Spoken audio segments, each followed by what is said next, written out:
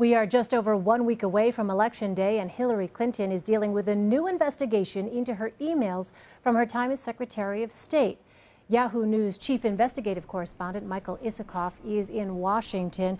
All right, Michael, so where does this investigation stand? Has the FBI been able to review these new Abedin emails linked to the Clinton probe? No, and that's the remarkable thing. At the time that uh, uh, FBI Director Comey wrote that letter on Friday, um, agents had not yet uh, gotten a warrant to read the emails, so they hadn't been able to review any of them.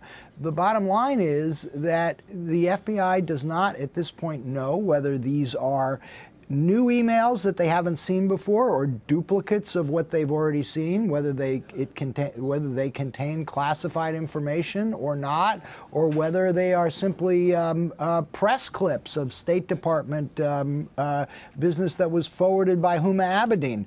Um, so that's what makes this letter that uh, the director sent so controversial because it seemed to suggest that there might be significant new material when in fact the FBI really doesn't know at this point.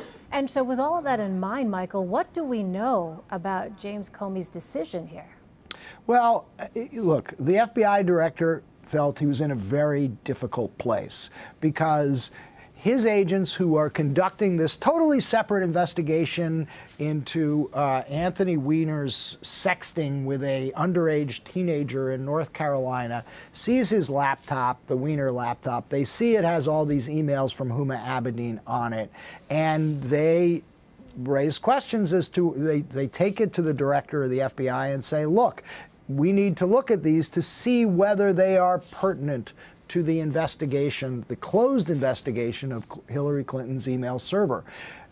From the perspective of FBI Director Comey, he felt that he could not sit on this. If he did nothing, once being briefed on this, he would be accused of, uh, of, of trying to help Hillary Clinton by keeping investigative steps under wraps before the election.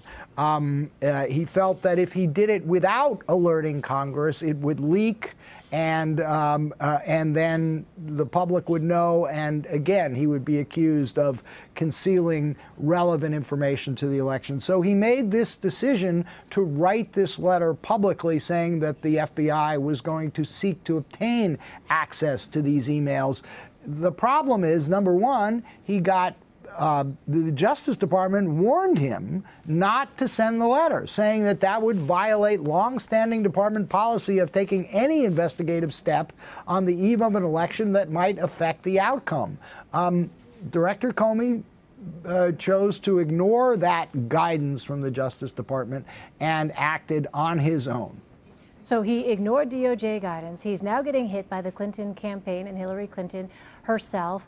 Donald Trump is praising essentially now this step by Director Comey. Do you think that the FBI director is going to offer a more thorough explanation like he did back in July when he announced the decision to not recommend charges against Clinton? Well, I think he may try to offer a more thorough explanation of his decision making process here, but it's hard to see how he can offer any additional information about the content of the emails, which is really what people want to know. Uh, is there new material here that sheds new light on Hillary Clinton's conduct or Huma Abedin's conduct and whether it might violate the law or not.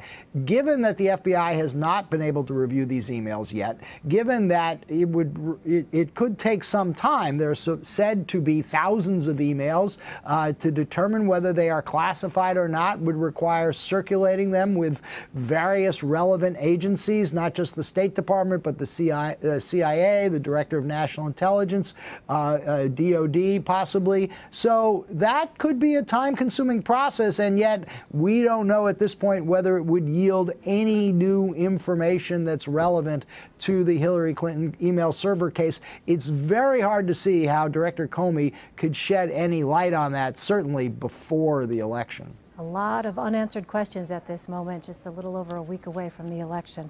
All right, Michael Isikoff, thank you so much. Thank you.